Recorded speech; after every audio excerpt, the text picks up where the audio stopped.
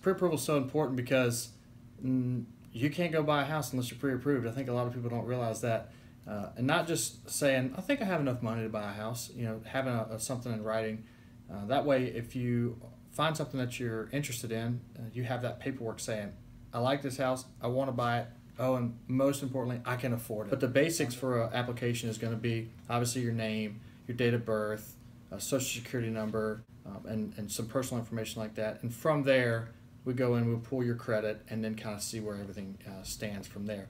Once that happens, uh, then we're going to go in and talk about your income, and then from that, we'll go ahead and start get some documentation, uh, pay stubs, bank statements, things like that. Well, we're going to ask you first what your number is, not your number of how much a house is going to cost, but how much are you comfortable spending per month? Just because you're approved for three hundred fifty thousand dollars, most people aren't going to be comfortable with what a three hundred fifty thousand dollar house note looks like. So once we get you there, get you kind of in a range you want to be in, then we'll send you to your realtor and get you started shopping for houses.